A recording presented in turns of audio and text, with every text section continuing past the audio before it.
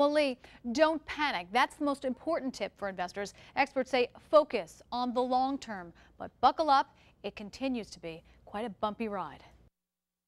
Watching the dizzying highs and lows of the stock market can wreak havoc on your nerves. Sometimes you just got to hold your breath and see what happens. Just ask Pam Dyer, who is now worried that her nest egg is in jeopardy. I'm 63, my husband's 68.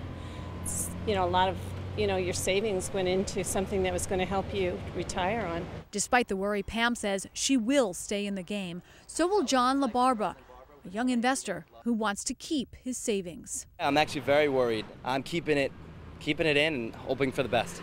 And financial experts say that's exactly what investors should do. Do not panic. Jon Ten Haagen has been a financial planner for over 30 years. At times like this, when the market fluctuates dramatically, he urges his clients to turn off the TV and focus on the big, long term picture. You're not investing for today or next week, you're investing for your retirement. You may be tempted to bail and pull out your money, but Ten Haagen says now is not the time. If you do, it will be harder to recover and make your money back. And one more thing financial advisors agree on diversify.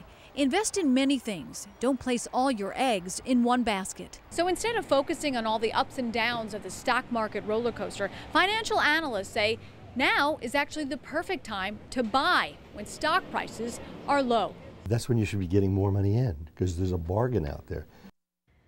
And experts say mutual funds are still a very good investment. And if you want to take advantage of low stock prices, buy shares of large, well established companies that have been through this kind of thing before. Lee. All right, Jill, thank you. Now that leads us to our question of the day.